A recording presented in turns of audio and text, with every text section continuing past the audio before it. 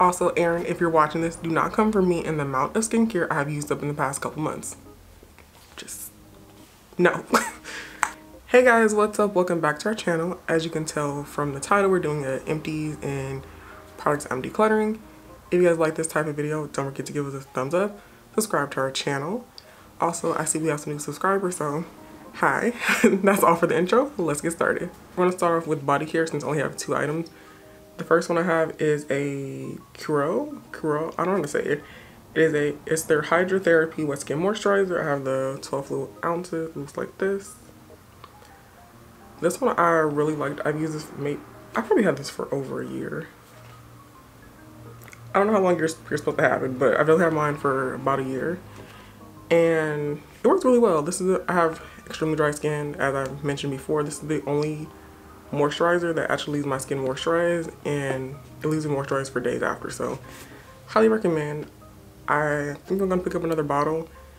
I just, the only thing I wish or if I could change something about it is if it was like sweet scented. It gives me more of like a lemony vibe, but not really. I don't know, I like sweet scents, so that's my only thing, but yeah. Next up we have a mini size of the Ariana Grande R.E.M. Perfume. I think I used this within a month. It smells so good. It's one of my favorite perfumes by her. I have the other little mini one sitting over there. I'm going through them. But yeah, this one is really nice. Um, kind of sweet. Yeah, it's it's sweet. I'm bad at describing perfumes, but it's kind of sweet. Not as sweet as sweet like candy, but I like this one. I would repurchase a full size of this one. Next up we have hair care. We have three items. The first item is the TGIN Buttercream Daily Moisturizer with shea butter and vitamin E. Looks like this. Yeah, I use it all. I would use this after I wash my hair and I put oil in it. I'll use this too. Did not like this. It's so heavy. It made my hair flaky. It just, I don't know how I finished this up, but I did. Zero out of 10. This is only, this is one of the products by them that I don't like.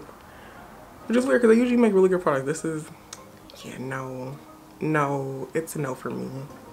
Next up we have my favorite shampoo and conditioner. This is the Carol's Daughter Black Vanilla Moisture Shine Hydrating Conditioner and the matching shampoo. They both look like have a little bit in there, but I mean, I can try to get that out. We'll see. Wait, I have two. I'm surprised I don't have more. I run the, the conditioner more because I use it to condition my hair and to deep condition. It leaves my hair smelling nice. It leaves my hair super soft. This is the only shampoo conditioner I've been using for the past three years maybe. 11 out of 10.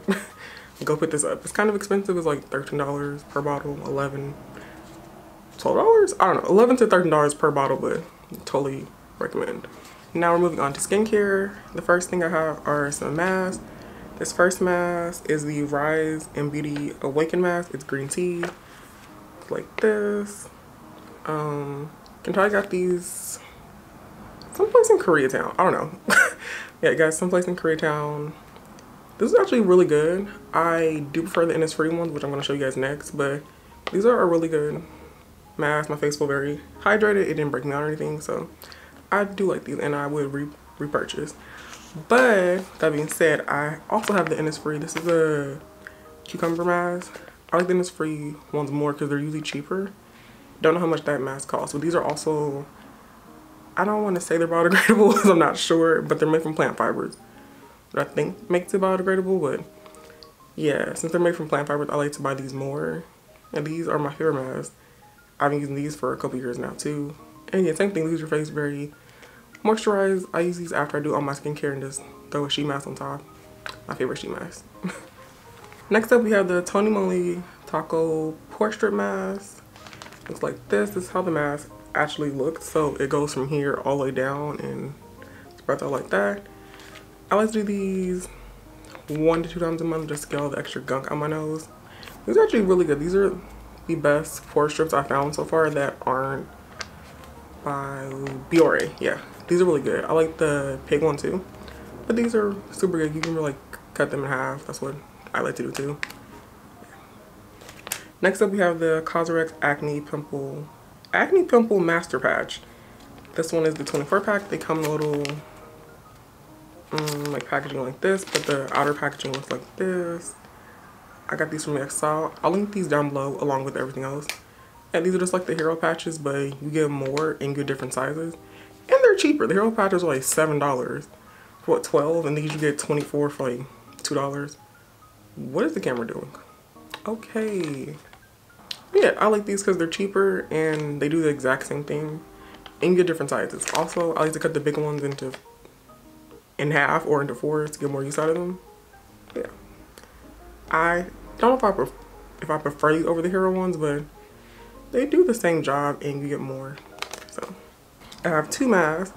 The first one is the Innisfree Pore Clay, Pore Clearing Clay Mask. This I got as a sample size as Sephora. This looks like this.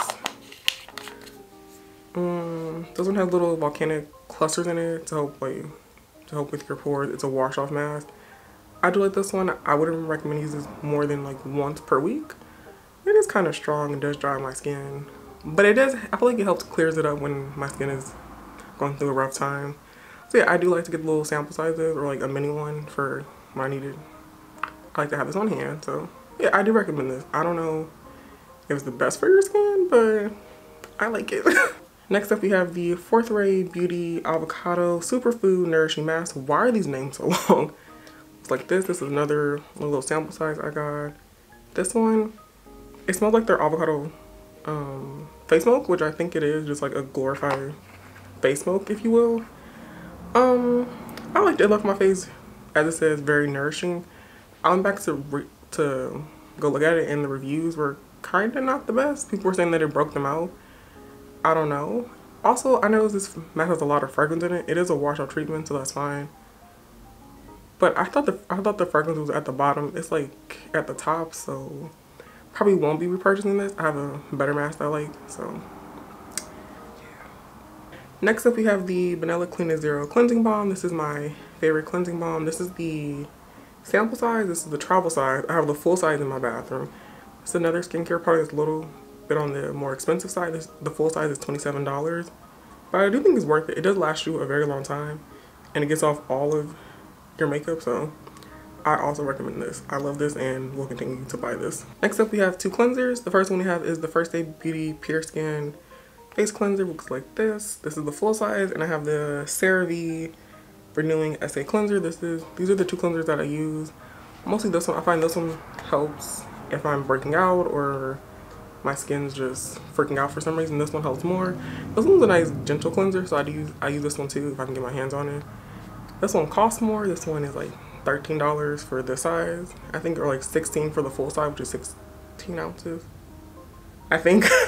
but yeah, I like both these cleansers. I prefer this one. This one is also really nice. This one kind of does dry my skin sometimes, so I like this is better for summer when my skin's a little more I wouldn't say oily because it's still dry. a little more oily, but still very dry. So yeah. Next up we have the CeraVe Moisturizing Cream. I got this as a replacement for the um, the, the First Aid Beauty, it's literally sitting right here. The First Aid Beauty Ultra Repair Cream.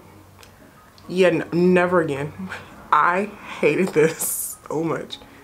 It did not moisturize my skin. It did not feel good. It smelled okay. It didn't really smell like anything, but no, never again. I hate this moisturizer so much. It wasn't good as a face moisturizer. It wasn't good as a body moisturizer. No, no, no. Next up we have a moisturizer that I actually love. The First Aid Beauty Ultra Repair Cream. This is one I use every single day, no matter what season basically. This is one of the only moisturizers that actually leaves my skin feeling hydrated. Yeah i have the travel size. Yeah i have the, the travel size which is 16 ounces the full size i think just went up. So it's a little over 32 dollars if i'm not mistaken. Yeah totally worth it. I buy both sizes. I usually buy the this size because this is the size they, they usually have in stock and it fits in my in my drawer but yeah either size is good next up we have a product you guys are probably sick of me talking about this is the ordinary hyaluronic acid serum like this. I have two bottles. Actually, it would have been three, and my new my bottle I have now has like that much in there. So, yeah. Ooh. This is my favorite serum. Um, It's cheap, effective, like I always say. Yeah, just a simple serum. I will also recommend this. This and the First Aid Beauty Moisturizer, those are my holy girls. So next up we have makeup. I'm going to be talking about two products that I'm going to be decluttering because they're they were almost used up, but they're also very old and they both smell bad.